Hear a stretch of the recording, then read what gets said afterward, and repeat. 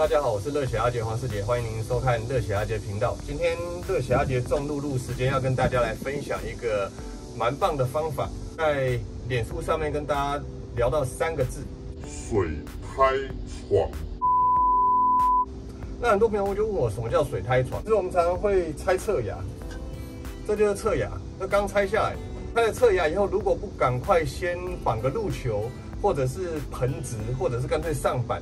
那你要怎么去管理呢？尤其是现在夏天，真的非常炎热。如果你放任不管它，或者只是随便上个板，有可能这个侧牙它的根系没有很健全，吸不到水就挂。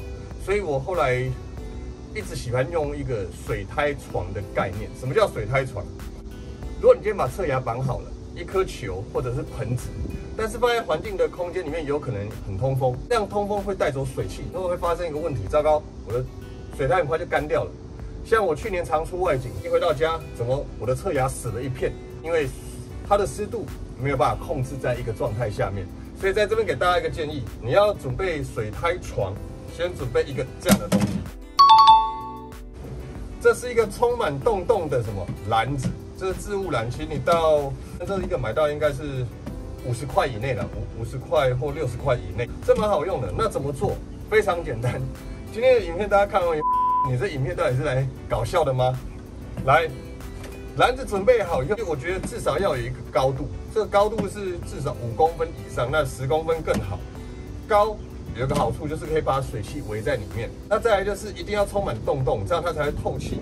再来就是准备非常多的水胎，就像现在这样，把水胎放进来，一把一把大把的放，一点都不要客气，放的满满的。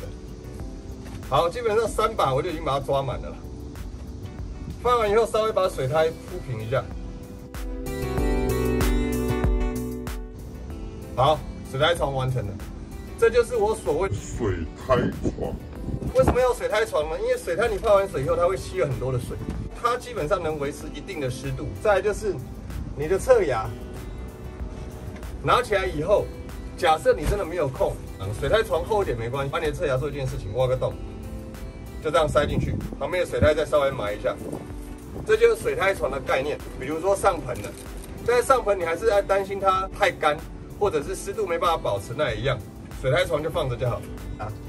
前几天挖的，通通都可以这样放着。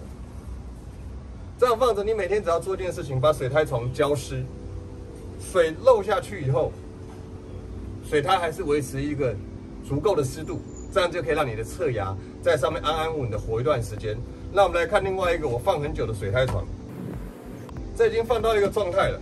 各位可以看到长满很多青苔，这水胎床已经到它的根系都已经下去了。这个侧牙拔完以后就丢在上面没有理它，然后它的根系就直接在水胎床里面长出来了。这样直接上板就好。根系长出来是最重要的一件事情。那像这一颗也是，哇塞，它。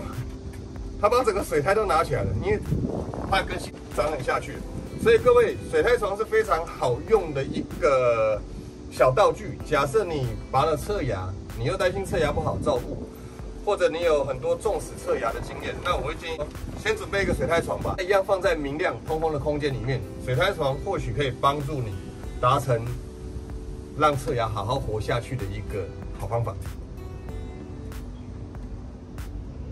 对啊，这边为什么有一个小侧芽？还是自己长出来的？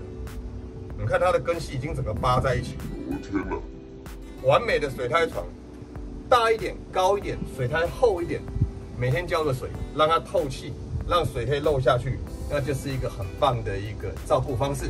今天的小阿杰种露露的时间非常快，也非常简单。那希望各位看完以后可以有更多的发想，把你的方法分享给大家。希望你的露露长得很漂亮，长得很好。喜欢我的影片，别忘了订阅、按赞、小铃铛，还有分享给更多人，让大家都把鹿角蕨种好。